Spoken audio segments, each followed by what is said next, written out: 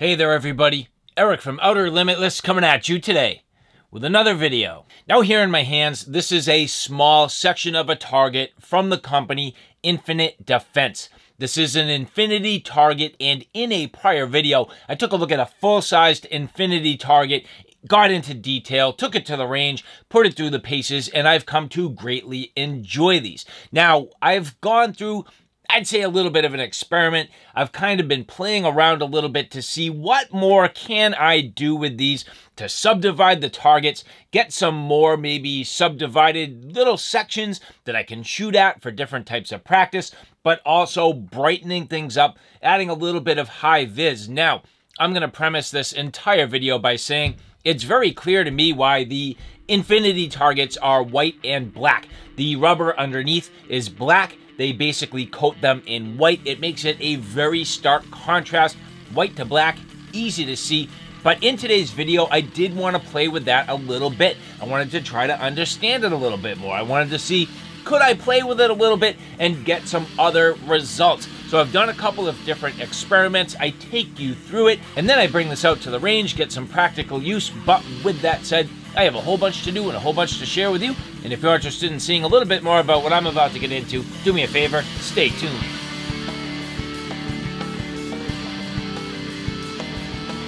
Now, before we get too far, I would like to say thank you very much to the people at Infinite Defense who did provide these products for review.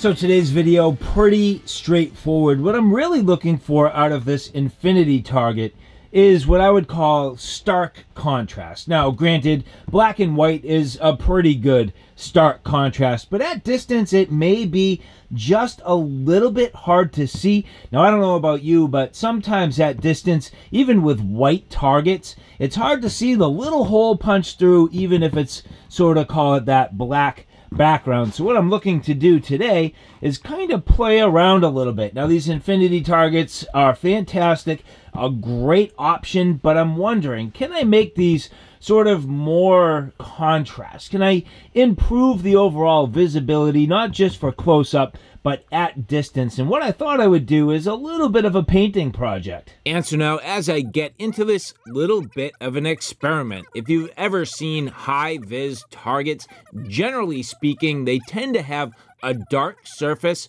with a bright color underneath. And if you do a little bit of research, you'll see that these can be made a number of different ways. Now, I'm going to premise this by saying this is absolutely not going to work, but I did want to try this and I did want to rule it out. So the first thing I'm doing is coating this in a bright yellow paint, and then I'm going to cover it entirely with black. Now, again, as I mentioned, a typical high-vis target tending to be bright colors underneath, with a dark surface. And with that, you'll see when people tend to make these, they do use something like a packing tape over the bright color and then put the darker color in the black on top. Again, keep in mind that's not what I'm doing, but I did want to rule this out. So at this point, you'll see a couple of coats of yellow. I did find that I was able to leverage a hair dryer in between coats, which greatly reduced the overall drying time and actually reduced the drying time and overall prep for this project to a mere matter of minutes. In about 15 minutes time, I had this completely coated in the yellow and in the black and overall gave me the opportunity to get this out to the range. Now, I was shooting 22 at the range. I did have an opportunity to get out there, really get a number of shots downrange, and I put about 50 shots on this target, about 20 of them grouped up pretty tight, and at this point, you can see the results. And so now back from the range. Now, I know I didn't have any shooting footage, but I can tell you I was with my wife shooting some rifle, some 1022, greatly enjoying it, and I really just wanted to devote my time to her and not filming. But you can see the results. And here, you'll notice the black on black, the yellow, not really showing up too well at all. And that's kind of part of this experiment. And you can clearly see why the targets are typically white. And at this point, you know, you can see that it doesn't really show up all too well. Now, the one thing that I can tell you is this is about 20 shots of 22 grouped very tight. and you can see how nicely these targets do hold up. And as I flip it over and taking a look at the exit wounds, you can see it is clustered and there's a little bit of blowout, but all things considered, not too bad. So what I'm going to do now, and again, continuing to experiment to see what kinds of things I can do with these targets.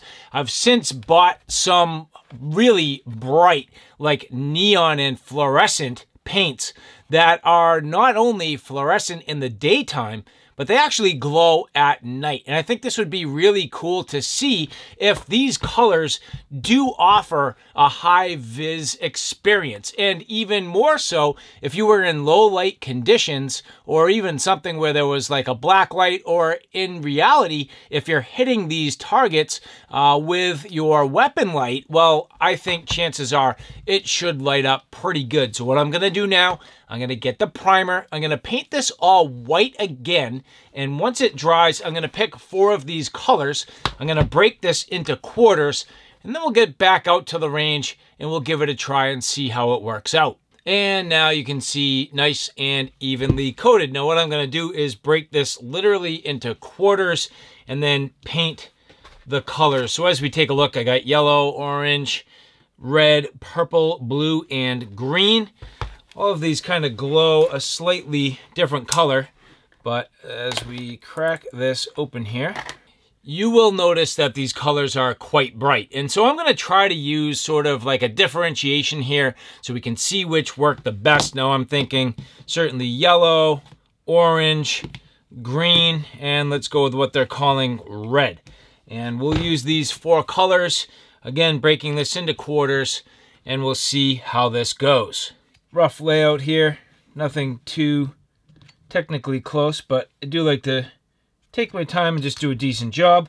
So you can see leveraging a Sharpie here, chisel point, nice thick black line. So this is just going to kind of break this into the quarters. And again, not a whole heck of a lot to it, but pretty straightforward, which now should be pretty straightforward. Now, I don't need a ton of paint, but I do want to get this nicely coated. And I did find, as you see, uh, leveraging the hair dryer does work very well to dry in between coats and then really speed up the process. So as I work along here, again, doesn't need to be perfect. This is just a trial, but I will do a number of coats leveraging that hair dryer in between just to shorten the drying time in between coats. And so after about 15 or some odd minutes of work, not too bad. Got this nicely coated. Now this is mostly dry. Again, using the hair dryer to dry in between coats. I put three coats of each one of the colors and you can see it's pretty well covered all things considered. Now I did manage to leave this corner, uh, I would say more towards that original white as sort of a control so that as I use this, we can compare how the white does contrast versus the colors. And so at this point, this is looking pretty good, all things considered. But what I'm hoping is going to be really fun is the fact that this completely lights up. Now, granted, at this point, I am using a black light, but as I turn it off, well, you see it does have a glow. So at night, this should kind of glow up or as it's getting darker. And you don't necessarily need a black light to get this to glow. It will literally do this with any sort of light. Like for example, here you have my TLR 8 sub. And as I get this turned on here, well, yeah, it's beaming and it's bright. But you'll notice you can nicely see the different colors you can pick up on the laser. And then again, once I turn the light off, well, it still has a nice glow. Granted, I do have some real soft lights in here, but for the most part, this is the target itself glowing. It's really cool, and I think it could potentially enhance your overall shooting experience, especially in low light conditions. So at this point, there's only one thing left to do, and let's get this out to the range. I'm kind of looking forward to this. And at this point, I'm really starting to get somewhere. I'm very happy with the overall visibility of this target. Now, I did have this in a couple of different setups. I'm shooting a 9mm carbine at about a distance of both 10 yards and 20 yards throughout this test. Now you can see the difference in the colors, the white being that stark white and black contrast, the standard contrast coming from Infinite Defense. The yellow, the orange, and the green, the high vis. Now I feel like each one of these has a bit of a benefit. The yellow, definitely very bright. The orange, very bright. And the green, very bright against the background. It is helping me to get some basic target acquisition from distance, and that is a very, very good thing. And on top of that, the ability to clearly see my shots, no problem. I do have to say, I feel as though my ability to see the shots is about as good on the high vis as it is on the white. So this does give me some thoughts about what I might be able to do with this type of target, what I might be able to do to experiment, and the bonus being as you take a look at the infinite defense targets, even in the wind, these are very stable and especially compared to other high vis options. And so now back from the range. Very cool. Now, again, you saw a whole bunch of different ideas all sort of blended together here. And again, I go back to one of my original statements from the intro where you can clearly see why the white and black combination has been used by Infinite Defense.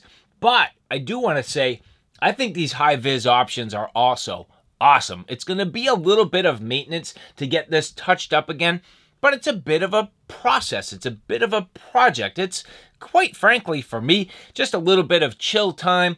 Put on a, you know, sports or put on some good TV, put on some good music, touch this up, tune it up, no problem, ready to go again. I kind of like doing that with my gear. It's almost the same as cleaning my guns. Is it a pain in the neck? Well, a little bit, but you know what? I kind of like it too. So touching up the targets is just going to be fun and enjoyable. And I do want to say that with the 9mm, not too bad in terms of the overall damage. Now, of course, this is a small target. And of course, everything was lumped up pretty tight. The exit wounds here, reasonable, not too bad, all things considered. It does have a little bit of blowout in the back, but it's not a big deal. And all in all, at this point, this is still plenty good. I have a ton of life left in this, so I could touch this up, no problem at all. And what that does for me is it shows me that I can take my full-size target, and there's a ton of space off the main body. There's a ton of space off to the sides where I could really play with it, subdivide it, and get a ton of other little target space. Subdivided target space of different colors, different sizes, different intended uses, and I love that about this. And even furthermore, this is a concept that you could use on their different sizes. They have some targets that are very blank and plain. It gives you just an idea that you could absolutely experiment with this. And so for me, much more to come. I will probably lay out my larger targets in a couple of different ways, take advantage of the fact that I have some of the paint now, and just enjoy it, have some fun, and really get some great use out of my Infinity targets. And so again, I would like to say thank you very much to the people at Infinite Defense who did provide these for review, and for the rest of you, if you like this content, do me a favor, take a look at my Outer Limitless channel, which is more on my primary gear. On that channel, I cover everything from hiking, camping, and backpacking excursions, all the gear that goes with it. So from sleep systems, shelter systems, knives, axes, backpacks, flashlights, you name it, that's my Outer Limitless YouTube channel. So all right, guys, thanks for stopping by. I hope you like what you saw. I hope you found it a little bit informative. If you like what you saw, please like, share, and subscribe. And as always, thanks for stopping by. Take care now. I'll see you soon.